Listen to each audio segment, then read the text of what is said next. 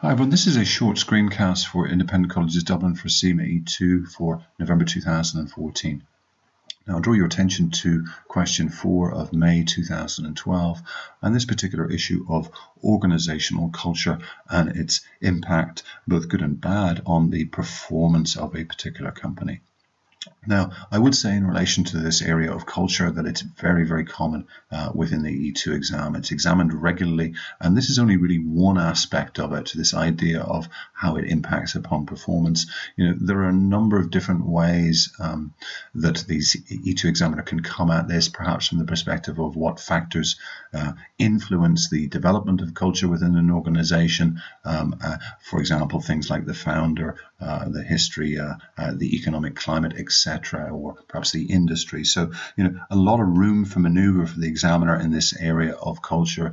Definitions are important, as we'll see, and, and perhaps even consequences of uh, different types of uh culture.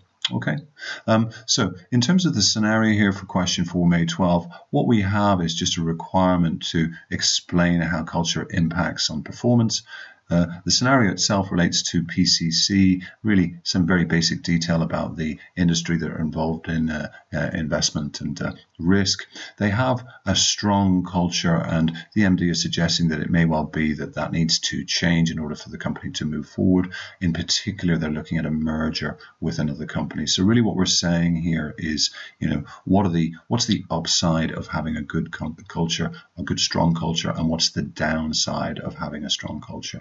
So in terms of the answer here, you'll see that you know, what they do in the first instance is in this first paragraph is really to sort of uh, uh, define really what culture is in in the main, and and obviously reference the fact that uh, you know culture uh, is going to impact upon the behaviours and actions of employees, and therefore it's going to have a serious impact upon their reaction to change and how they respond uh, in line with the company's future strategies and uh, indeed ways of working. So culture is clearly important. It impacts upon performance. We'll see below how it does positively and negatively. Um, they give us a little bit of definition here about, you know, what culture is. Certainly its assumptions and, and beliefs. They even talk about this idea of glue. That's a quite a good one there. You know, the glue that binds the organization together. And then they refer to the old classic of, you know, it's uh, Handy's classic of it's the way that we do things around here.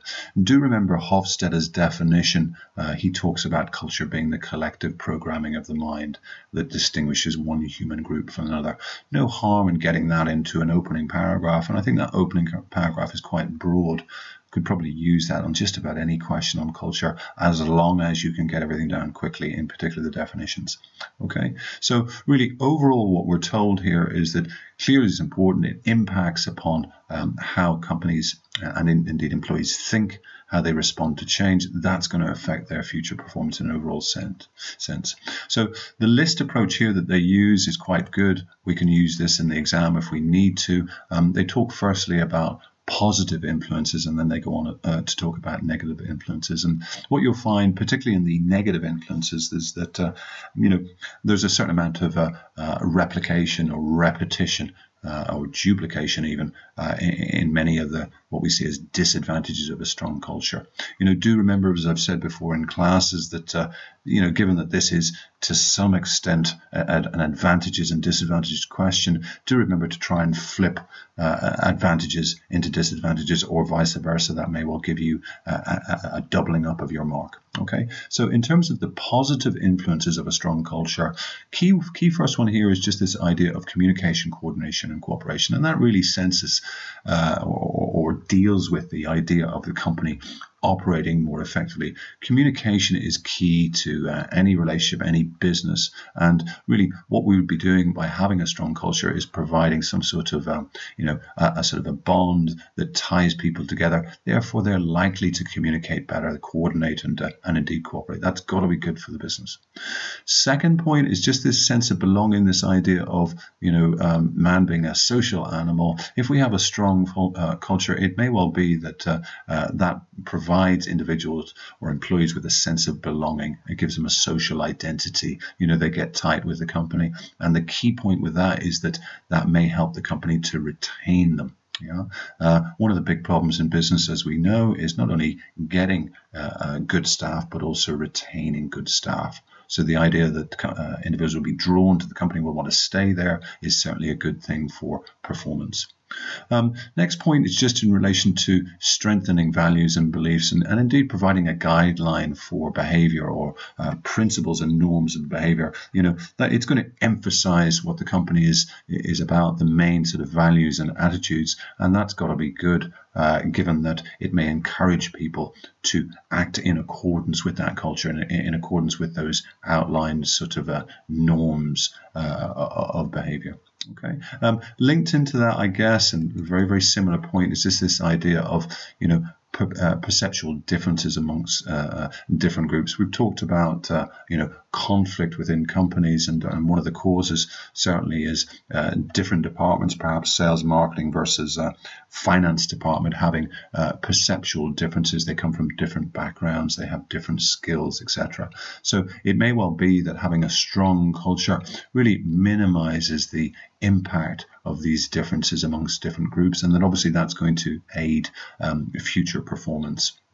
Uh, for sure.